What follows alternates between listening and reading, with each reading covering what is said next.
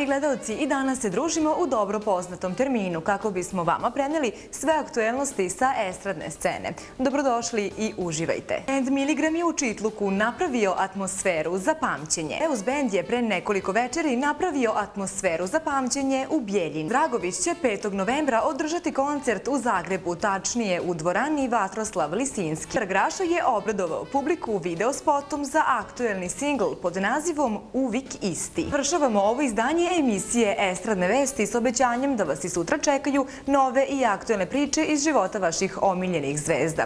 Nemojte dozvoliti da vam drugi prepričavaju, već prvi saznajte šta se to radi na estradi.